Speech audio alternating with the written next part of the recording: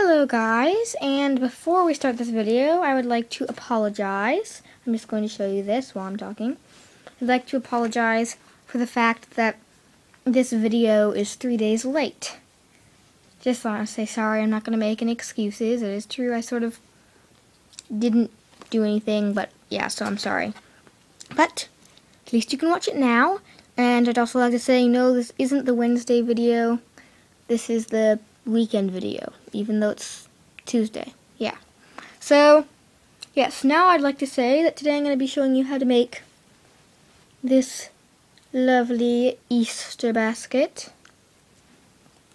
Not the stuff inside it, but I will be showing you how to make the Easter basket, and I will be making videos on how to make these, which I'll talk more about at the end of this video. So, keep watching to find out how to make this Easter basket. It doesn't have to be an Easter basket. It could be like a picnic basket or a basket for it could it's, it's, a basket. Right, so first thing you're going to want to do is you're going to want to take some fabric and or scrapbook paper. You can use any kind of fabric or scrapbook paper you want. Frankly, I suggest fabric. I'm using this woven looking fabric. So, first thing you're going to do is you're also going to need a tape roll. I'm using a scotch tape roll. You can use a scotch tape or duct tape roll and then you're just going to measure it onto your fabric and cut a strip as wide as the tube just with about an inch extra. So like as wide as your tube with about an inch extra. So the width of your tube with an inch. And I'm just going to be measuring that. It's kind of hard with these metal knobs on my fabric, but I'll make do yeah, so be sure to have some extra and yeah. Alright, so as you can see, I've cut that out and then I glued it on and then tucked it in. As you can see, sorry, I don't have more filming things of that. So now you're going to trace it onto a piece of cardboard and trim it down so it fits on the inside of your roll, as you can see what I'm doing. And now you're just going to glue it in Gluing it in might be a bit tricky because it's hard to get it to stick whenever it has nothing to be on, but if you put enough glue, it'll work.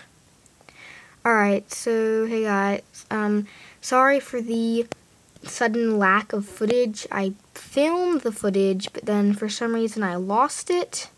Like, I don't know, I mean, I filmed it, but I lost it, so I have been, so, so what I did was I, um, just cut a piece of fabric, a circle of fabric, this blue fabric, and then I glued it in and I folded over the edges so it looked nice, and then I cut some holes for in the fabric for the handle, which is just a strip of my woven looking fabric, and put in put some glue in the holes, and then glued in the handles. And sorry again that I don't have the footage. I lost it. I did film it, but I lost it. So, yeah. And so, um, that is basically how you make the basket.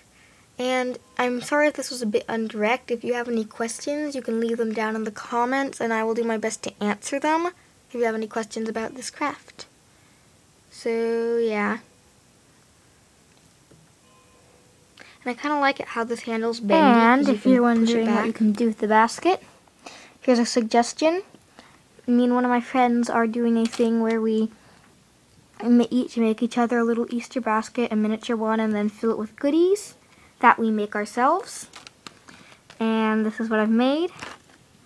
And some of these things I will be showing you how to make. Here's a puffball pet. She's the springtime puff. I put some little capsters from the Klutz book capsters. And this egg right here is actually from a video I watched. So I can't really show you how to make it because that would be, you know, copyright in a way. I made this little gnome and this decorated bottle cap. And my, uh, this candy egg nest with an egg in it. And I'll, I can also make a video on how to do that. So I'm probably going to be making a video about this and this. So, um, stay tuned for that. And yeah. So, thanks for watching.